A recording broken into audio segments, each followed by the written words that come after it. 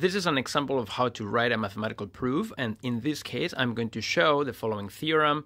Let a, b, and c be integers, then if a is not a divisor of b times c, then a is not a divisor of b, and a is not a divisor of c.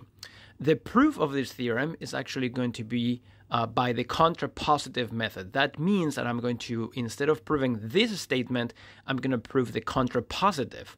So this is a statement of the form if P, then Q. So the contrapositive will be if not Q, then not P. So the actual statement we're going to prove is the following. If not Q, so if A divides B or A divides C, then not P. So A divides BC. So that's a statement we will actually prove uh, to prove that one. This statement is logically equivalent to that one. We begin by asserting that we're going to prove the contrapositive for clarity, and then we're going to suppose that A divides B or A divides C. Now, without loss of generality, the two proofs of A divides B or when A divides C are exactly the same. So we're going to assume that A divides B without loss of generality, we say. So without loss of generality, we assume that A divides B, and then by the definition of divisibility, that means that there is some integer n such that b is a times n.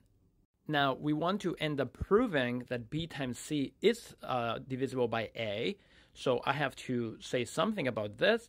Uh, and what I can do is plug in this formula for b in this uh, expression. So b times c is a times n times c. And now I see that a is a factor, and I just have to rewrite it uh, to use the definition of divisibility. And that rewriting involves the associative property of multiplication in the integers, uh, which I might as well uh, note here that this is, uh, I am using the associativity of the integers to be able to regroup like that.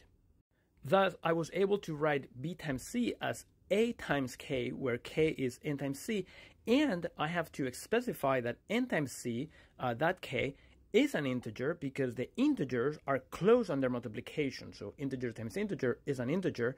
And now I have bc equals a times another integer. And by the definition of divisibility, that means that a is a divisor of b times c. And then I can say just that. b times c is a times k, where k is an integer.